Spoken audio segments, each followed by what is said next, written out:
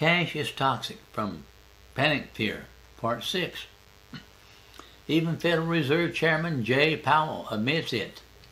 In a letter addressed to several congressmen, he confirmed the Federal Reserve is indeed, is indeed looking into developing a digital currency in the United States. Even some of President Trump's most trusted advisors are on board. Trump Fed nominee Judy Shelton says U.S. should be proactive on digital dollar.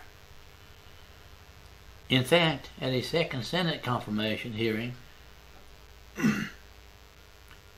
Judy Shelton, President Trump's Fed, Fed nominee, again said, we need the digital currency to help preserve the, prim, prim, the privacy of the dollar worldwide. I could go on and on, but you get the idea, don't you?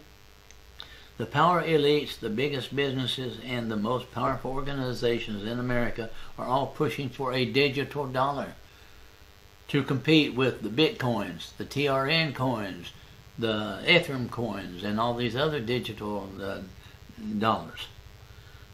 Each time we've seen a big change to our currency, unwary savers with cash money have been left holding the bag of thin air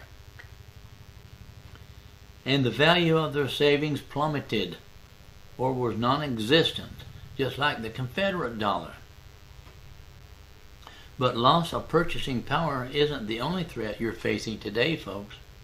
A new digital dollar, combined with the removal of physical in your wallet paper dollar money, will mean the end of your financial privacy. Of course, or worse. It could mean the end of, of freedom, rights, and liberty in America altogether. Think about it.